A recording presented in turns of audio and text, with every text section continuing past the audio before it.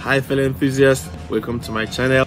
Let's go into today's video and we're gonna come back at the end to wrap it up. Here is the kit we'll be using for this project. As a PCB, condenser microphone, power connector, audio connector, three transistors, one LED, bunch of resistors and capacitors, and of course three inductors. One of them is a variable inductor responsible for controlling the frequency from 88 to 108 megahertz. This project will be powered between 3 volts and 6 volts, but today we'll be using 6 volts. So here I'm going to connect some of the components first just to test it out and then after soldering I see that they're okay then I connect up the rest and solder them up. So here is the finished uh, soldering. Um, I will show you the circuit diagram shortly. Um, so the kit is complete now.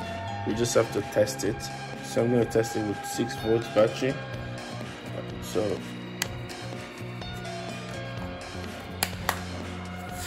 now I'm going to just so there's the switch here to power it on and I'm gonna play this music from this computer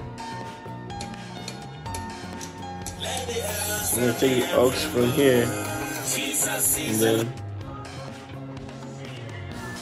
we'll receive it on the other end. This is a software defined radio receiver for this project. You can see it is receiving at 107.855 megahertz. You can notice the spectrum. The other spectrums you see are for the transmitters around. But our project is right now on 107.8 megahertz. Now this is the spectrum analyzer version of it. Right, so we're gonna test interference. As you can see, as my hand is coming close, there's little or no interference. The frequency is fairly stable at 107.8 megahertz, right? So even though this transmitter is a voltage controlled oscillator based transmitter, it is fairly stable, you know, for that, you know, with the presence of my hands. And so when I pause the audio, you notice the bandwidth is so narrow, right? And then when the audio is restored, you can see the bandwidth increases. Remember, FM transmitters have a bandwidth of 200 kilohertz.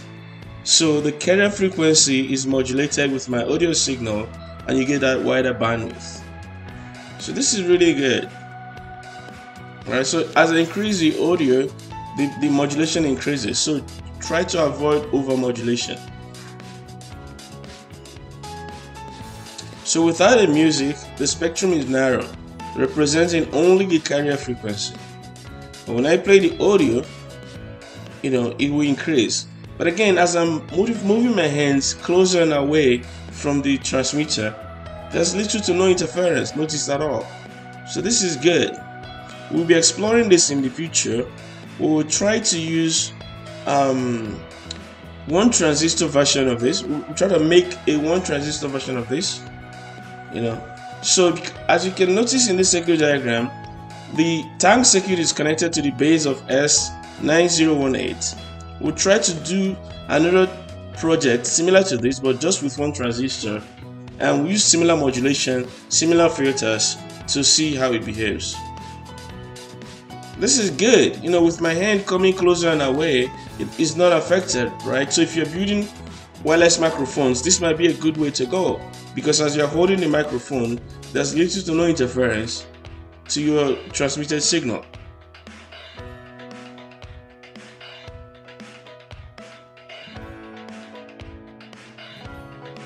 Alright, thanks for sticking around to the end. That will be it from us today.